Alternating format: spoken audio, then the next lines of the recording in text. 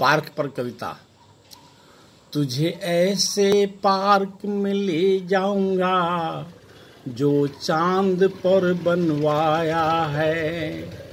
वहाँ न कोई इंसान होगा, ना कोई शैतान होगा। धरती पर के सबसे बड़ा पार्क दुनिया का मशहूर है।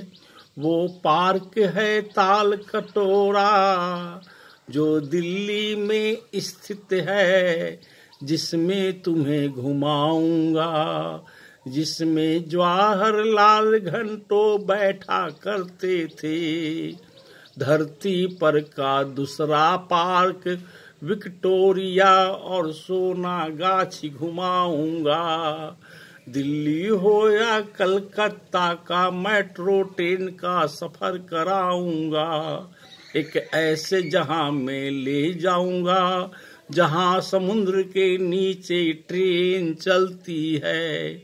तुम्हें ऐसे जगह ले जाऊँगा, जहाँ से लौट के शायद घर तुम आओगी, जहाँ से शायद घर तुम लौट के आओगी। समाप्त।